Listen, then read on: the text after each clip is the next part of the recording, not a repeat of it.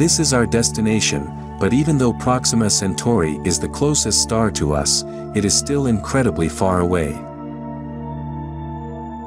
This mysterious world we are attempting to explore is 4.2 light-years away, much further than any human-made object has ever traveled. But luckily for us, within this simulation we are not restricted by the cosmic speed limit, we can go faster than the speed of light. As we make this incredible journey to out neighboring star and its mysterious world, let me try put the distances you are now traveling into some kind of context.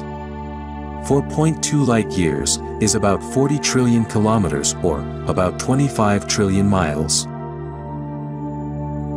If the famous interstellar probe Voyager 1 was heading towards Proxima Centauri at its current speed at 17.3 kilometers every second, to view the full video, leave a like, subscribe and hit the link in the comment section.